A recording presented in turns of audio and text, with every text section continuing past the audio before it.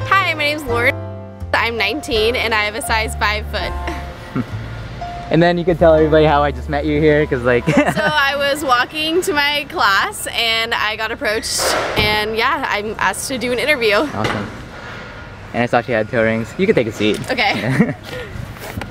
so before this, did you have any thoughts about your feet? Um, I always have like, I always, I knew I had small feet and I can fit into like kid shoes, so I always try to buy kid shoes, can save money, but yeah, I, I don't know. I saw a couple of my friends had toe rings. I'm like, oh, those are cool. They make your feet less ugly. So. That's what I noticed. No, they're not Yeah, ugly. I mean, I like them. I like never take them off.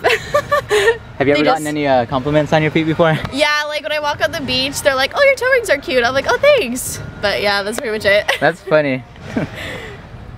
and then uh, what high school did you go to? Uh, Fountain Valley High School. Fountain Valley. I don't know anybody Yeah. from there. And then could you put them up here? Yeah.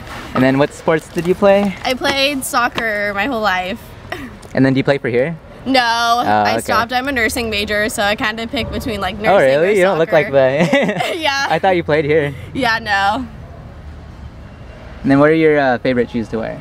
Um, probably running shoes, Nikes, or flip flops. Okay. Forget my usual questions. And then uh favorite shoes. Oh, foot injuries. Yeah, I didn't get that one on camera. Oh yeah, I um, recently, my senior year, I got hit in the ribs and I broke my fifth and sixth rib and bruised my sternum. So Oh, no. I like had to. I was out for like three months. I could barely like walk and do anything. So yeah, it was pretty rough.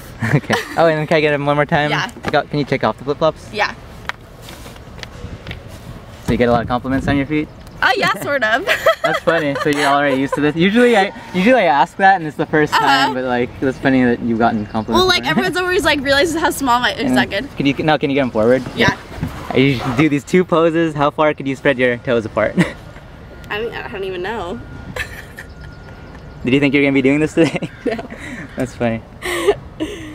And then, oh, do you have a boyfriend? Yeah. Oh, okay. Does he say anything about your feet? or- Um, he just knows that they're small. That's, funny. basically it.